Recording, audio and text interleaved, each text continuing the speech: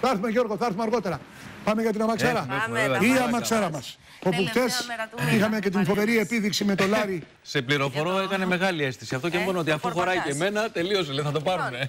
Αυτό Άκου το τι με αμάξι. ρώτησε ο άλλος τώρα, είναι απαράδεκτος. Ναι. Μήνυμα πρωί-πρωί. Κάτσε να ανοίξω το παραθυράκι. Εγώ σας όμως παρακαλώ. είμαι με τους τηλεθεατές οι οποίοι έχουν κέφι. Ε. Λέει αν πέφτει πολύ πίσω το κάθισμα.